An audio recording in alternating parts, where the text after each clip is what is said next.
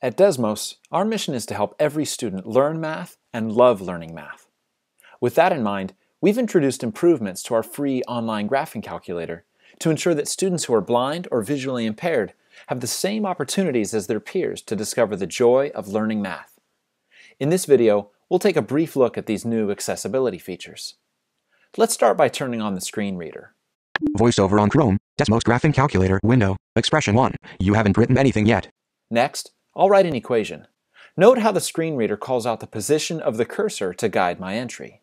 Y equals X superscript 2. After superscript 2, baseline, minus 1. Denominator 2. After start fraction, 1 over 2, end fraction. Let's try another equation. Expression 2, edit Y equals C O S left parenthesis X right parenthesis Expression 2, y equals cosine left parenthesis x right parenthesis. Did you catch that? Desmos works with the screen reader to ensure correct interpretations of sine, cosine, roots, fractions, and more. Now for some fun. Let's turn on Audio Trace by pressing Option T. Audio Trace on.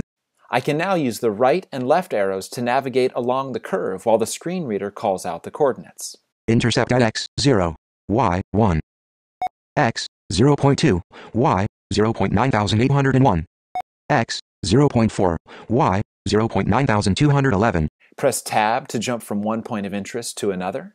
Intersection at x, 1.0141, y, 0.5284. 0 at x, pi over 2, y, 0. Extremum at x, pi, y, minus 1. And finally, press H to trace automatically along the curve. Playing graph.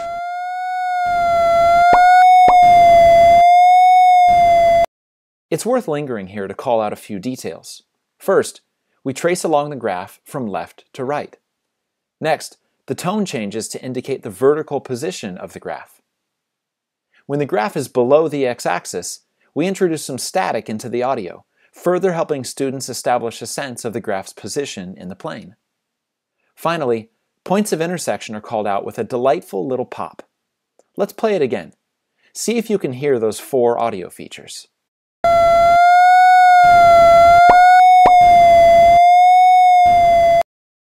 To learn more about our accessibility features, including how to configure the screen reader on your own device, how to activate audio trace, and where to find a comprehensive list of keyboard shortcuts and commands, visit www.desmos.com/accessibility.